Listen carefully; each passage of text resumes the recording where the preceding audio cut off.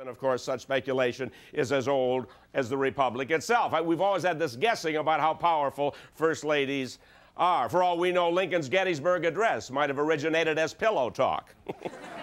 Four score, Abe? Not tonight, Mary. I have a headache. Well,